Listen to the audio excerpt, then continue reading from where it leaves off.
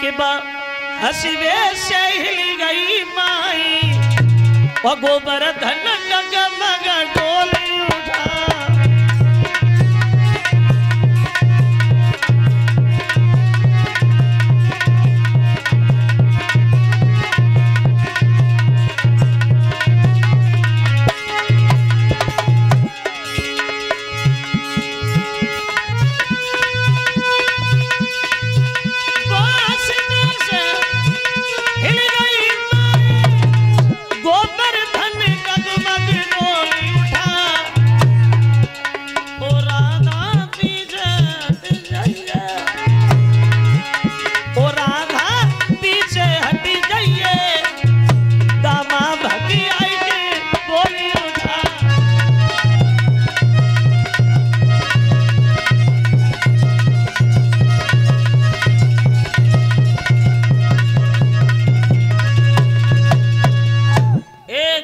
से गोवर्धन हिलने लगा तो दामा चीखने लगा, राधा ये हंसने का वक्त नहीं है। अगर गोवर्धन ऊपर से नीचे गिर गया तो क्या होगा? कन्हैया बोले, कुछ नहीं होगा, दामा भैया खड़े रहो। सात दिन लगातार बारिश वही है वृंदावन पे अंत में मेघों का राजा हार करके इंद्र से जाके मिला। इंद्र ने देखा आ गए। विनाश हो गया, वृंदावन का, कोई ज़िंदा तो नहीं बचा। बोले, महाराज, कोई भी नहीं मरा। है?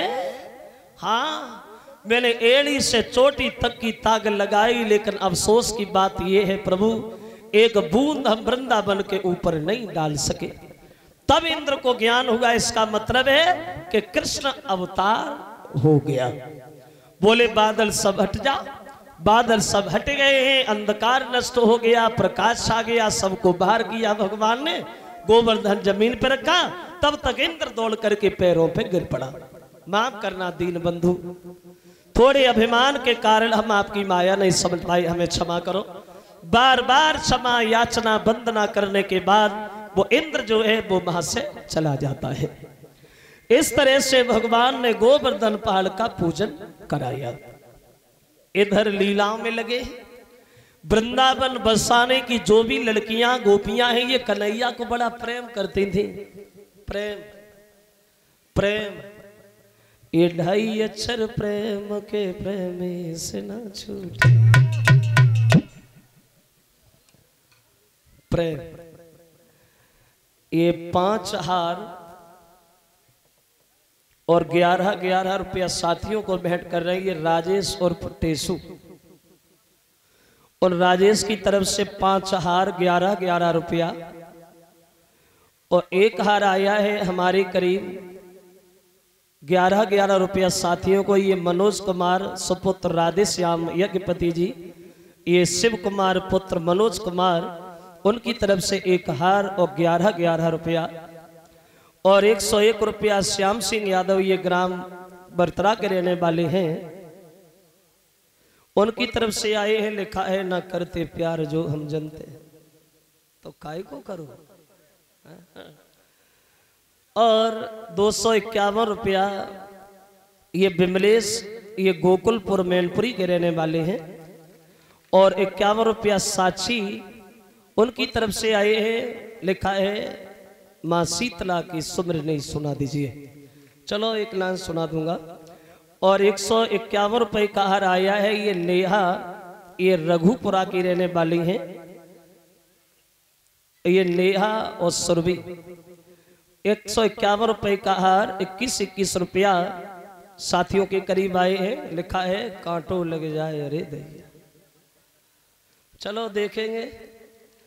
और इक्यावन रुपया संजय यादव ये कोला के रहने वाले हैं, लिख रहे हैं, पर्दा हटाए दे। ये गीत तो बहुत बड़ा है। ये पचास रुपया बलराम देवसनी, पचास रुपया ये रुकमंगल देवसनी के रहने वाले हैं, साउंड वाले। उनकी तरफ़ से आए हैं एक हार और एक सौ एक रुपया, एक मुकुट और बीस बीस रुपया साथियों को भेंट किए हैं। ये जय ये जगदीश शास्त्री के भाई बबलू यादव, उनकी तरफ़ से, और दो सौ रुपया ये सुमित यादव, विनीश यादव, ये ऊनरपुर दिल्ली के जा रहे हो।